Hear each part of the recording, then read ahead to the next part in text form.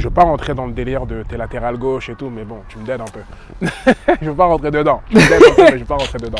En tout cas, je suis archi content parce que là, les gens ils savent pas dans le temps où est-ce qu'on est, mais on est juste après ton match d'équipe de France là, et t'es revenu méchant en tant que 6. Et je veux juste te, te demander de continuer comme ça parce que moi j'aime pas trop quand t'es latéral gauche.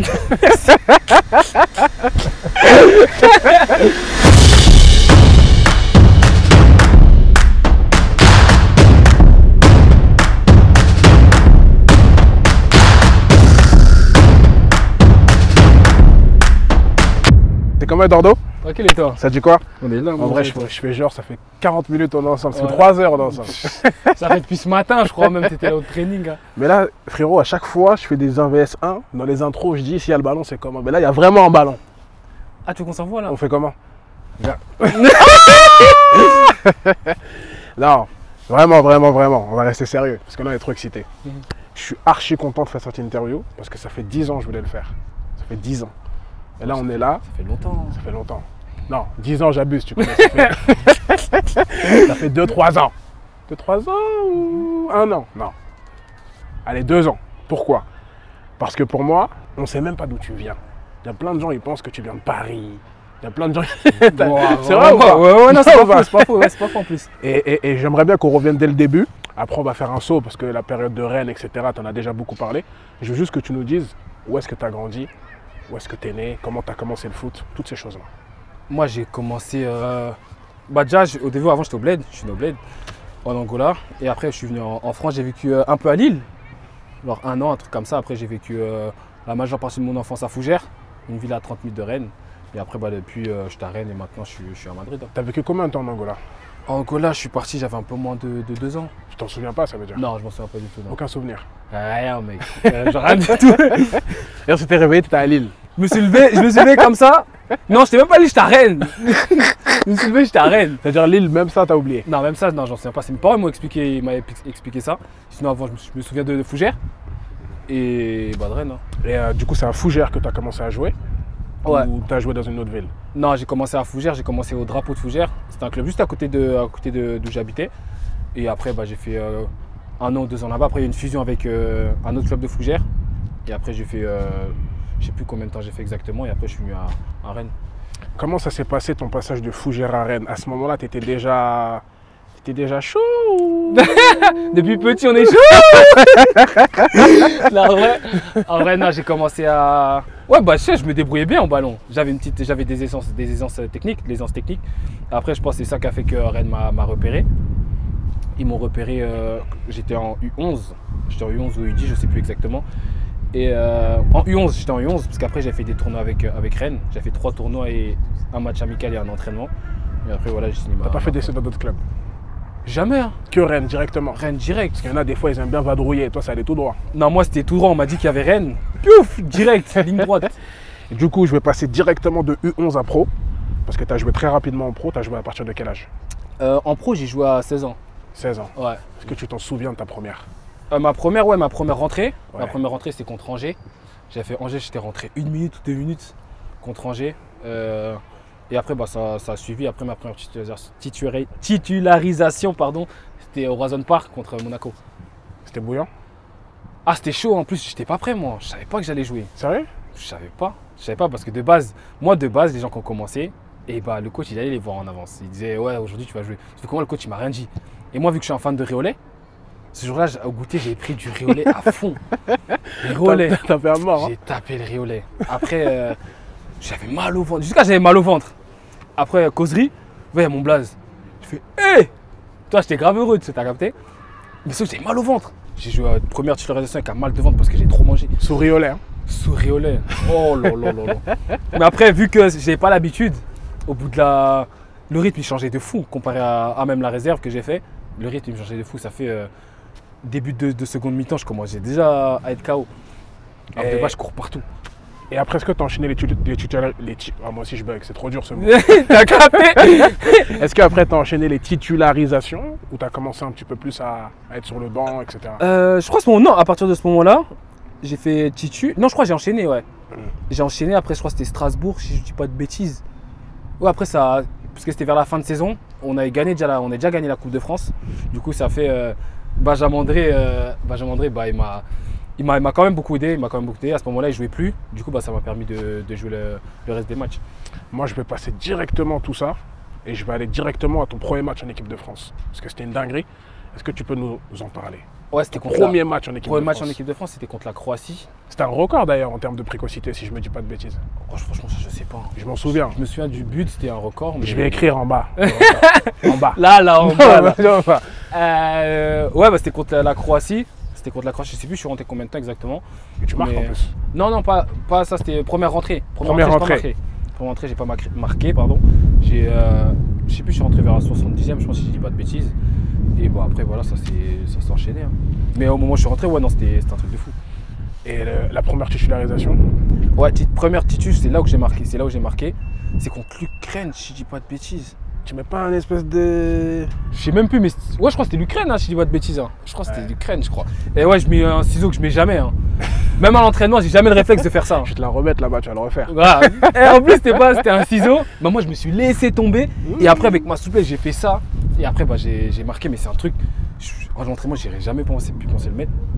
Et voilà, euh, ma, mon premier but, ouais, c'était un truc de fou aussi. Mais à chaque fois, tu marques au début, toi. Après, tu marques plus.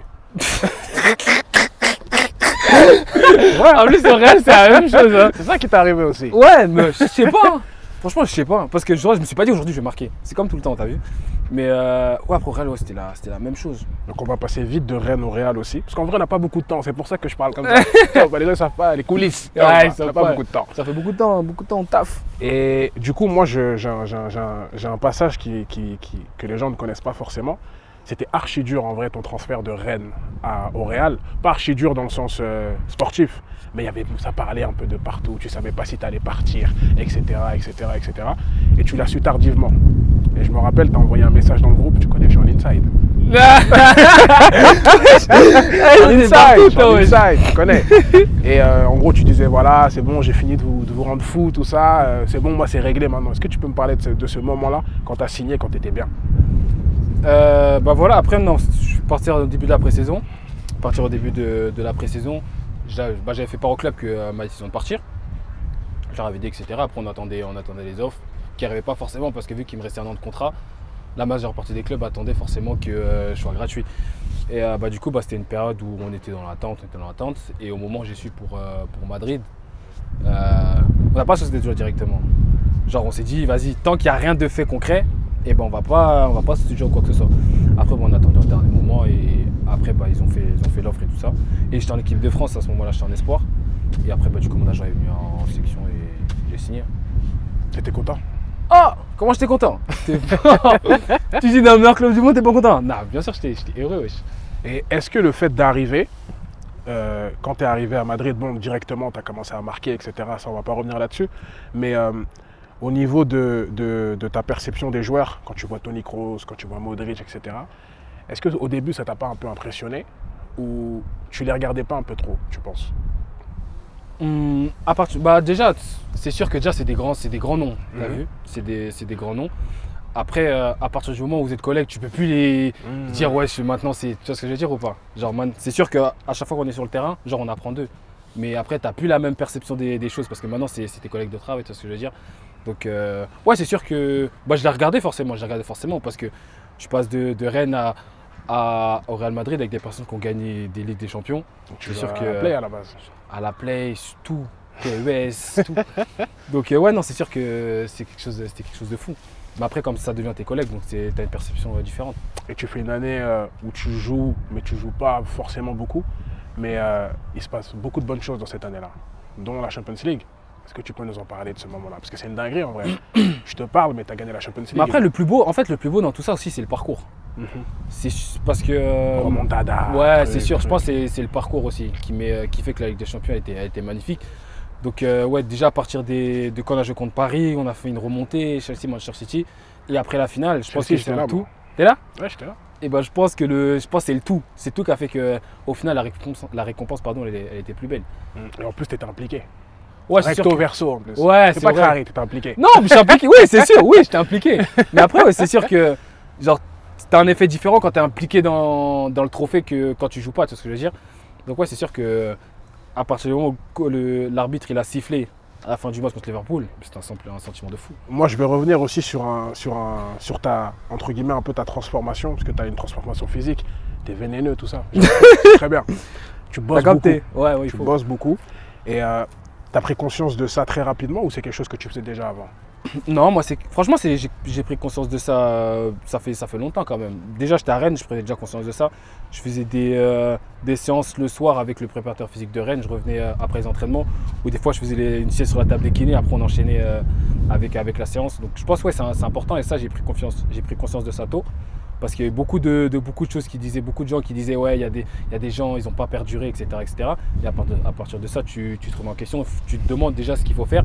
Après, sûr qu'il y a des exemples au haut niveau, quand tu vois des, des Cristiano Ronaldo qui perdurent à, à cet âge-là, ou même des, des Luka Modric, tu te demandes ce qu'ils font à côté. Donc je pense qu'à partir de ce moment-là, ce qui a été important aussi, c'était de manger, le sommeil et, euh, et le, travail, le travail invisible que tu fais à côté. Est-ce que le Real, ça t'a multiplié ça encore? Euh, bah c'est sûr parce que avant ça, av- à Rennes, j'avais pas de préparateur physique, j'ai pas de cuisine non plus. Euh, c'est sûr que quand j'ai quand j'ai signé ici, je savais que c'était un, un- une étape différente, donc je pense qu'il fallait que je me mette encore plus les moyens. Donc voilà, c'est pour ça qu'à partir de ce moment-là, j'ai pris euh, un- bah, j'avais déjà mon kiné à Rennes, mais ça, on a vraiment commencé à, à bosser ensemble euh, quand je suis arrivé à Madrid avec mon préparateur physique aussi et le cuisinier. Moi, il y a un truc que je veux te dire, parce que c'est bientôt fini. Tu sais bien, je parle beaucoup avec Chacola. Depuis le début de saison, il me dit que tu lui fais penser à Sidorf. Mais là, il m'a dit de te dire que ces temps-ci. Je sais, je sais, Redondo il a dit non. Je sais, il m'a déjà dit. T'en penses quoi? Il m'a envoyé ça, je lui ai dit non, Sidorf. Mais après, non. Ça, ça reste des, des très grands joueurs. Donc, euh, après, Thiago, franchement, s'il te dit ça, c'est que vraiment. euh, C'est qu'il est pas fou. ouais, il est pas fou. Parce que déjà, je tiens à le dire à la caméra. Avant le match contre. euh, je sais plus c'était contre qui en, Mondialito. Ouais. Et bah, il m'a dit Arribas, il va rentrer, il va marquer. J'ai fait, Alors ouais, qu'il mais n'avait déjà- jamais joué, il faut préciser. Ouais, il n'avait pas joué, il n'avait pas joué encore. Et du coup, moi, je me suis dit Déjà, faut qu'il rentre. Avant le match, il m'a dit ça. hein. Il dit rentre, premier ballon, but. J'ai fait un Et directement, je parlais avec, euh, avec Aurel sur le terrain. J'ai dit, mais attends, mais Thiago, il m'a dit, wesh, il a marqué, wesh, lui, c'est un fou. voilà, non, ce mec-là, non. C'est un devin, Chacola. Ouais, pas. Il, ça. il chante bien, mais c'est aussi un devin. il, est bon. Franchement, au boulot, il s'y connaît. Il s'y connaît. Il connaît le ballon. hein. Là, il connaît fort, fort, fort, fort. En tout cas, on va terminer là-dessus. Je ne veux pas rentrer dans le délire de tes latéral gauche et tout, mais bon, tu me deades un peu. je ne veux pas rentrer dedans. Je ne veux pas rentrer dedans. En tout cas, je suis archi content parce que là, les gens, ils savent pas dans le temps où est-ce qu'on est, mais on est juste après ton match d'équipe de France, là. On est après la trêve internationale et tu es revenu méchant en tant que 6. Et je veux juste te, te demander de continuer comme ça. De continuer comme ça parce que moi, j'aime pas trop quand tu es latéral gauche. on finit là-dessus? Ouais, bien, bien, bien. en tout cas, je te souhaite le meilleur. Tu sais très bien, ça fait longtemps qu'on se connaît. Et euh, continue de charbonner. Et, et, euh, et c'est tout. hein. Tu sais déjà, après le reste, on se, on se le dit en off. Merci, mon vieux. Ouais, en off, il y a pas quand il n'y a pas les cams.